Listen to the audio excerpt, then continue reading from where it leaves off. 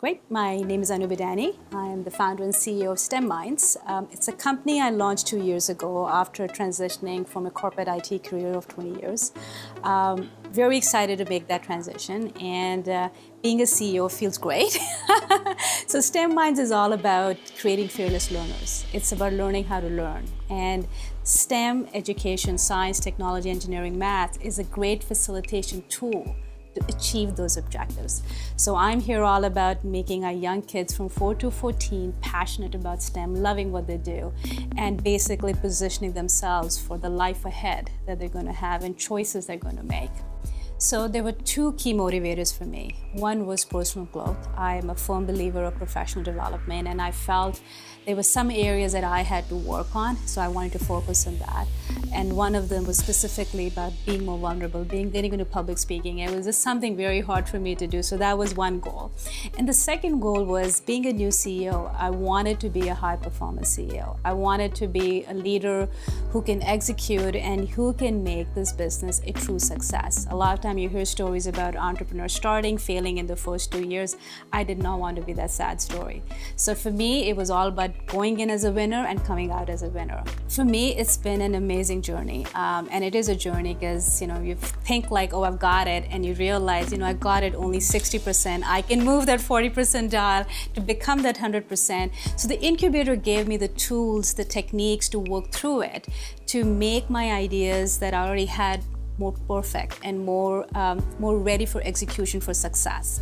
Also, just the community. It was such a huge. Um, opportunity for me in a safe place and that's what it felt like where i could, even though being a ceo i could feel like i could be vulnerable and i wouldn't be judged and i can grow and i can learn from others and it, i have to say was an amazing journey and continues to be an amazing journey but working with you i mean for me you've you've kind of role modeled a, a, personality for me and I love watching how you carry yourself, how you do it and I'm hoping I can learn. I've learned a lot already so uh, there's more I can learn but for me it's just that to take that energy that you bring in and that no BS attitude. Just go there, get it done. I just love that. It energizes me. It gives me more motivation to go ahead and just do it.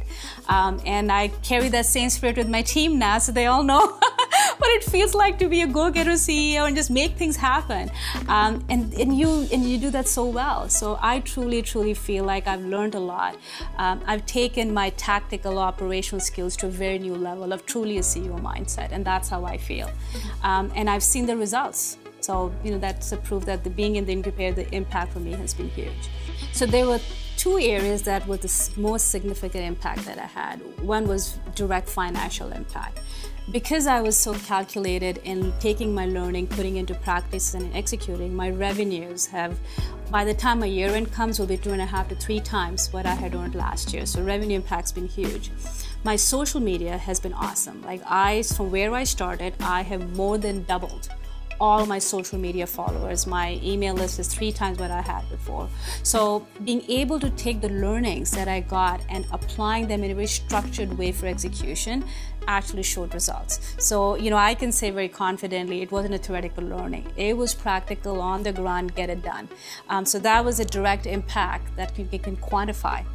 I think as a leader, I, I feel like I, I became a better role model for my staff because sometimes I'm not fluffing, you know, I'm not fluff. Am, I say if I'm going to do this, I will do it. And I think bringing that attitude of confidence to my team with the vulnerabilities that you have makes you human and real.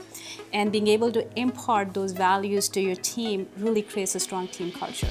And I am very proud to say I have a very strong team culture. When I started, I had one staff, and I have gradually grown my team to a full time staff of seven, 11 and a half or part time. So my team is large, but all of us carry that common thread of you know integrity and value system and execution, and you know really staying focused for why we're here and what we're here to do. So it just feels like my personal growth um, and being a high performance CEO, I have seen both of them in action and just not in theoretical words. So.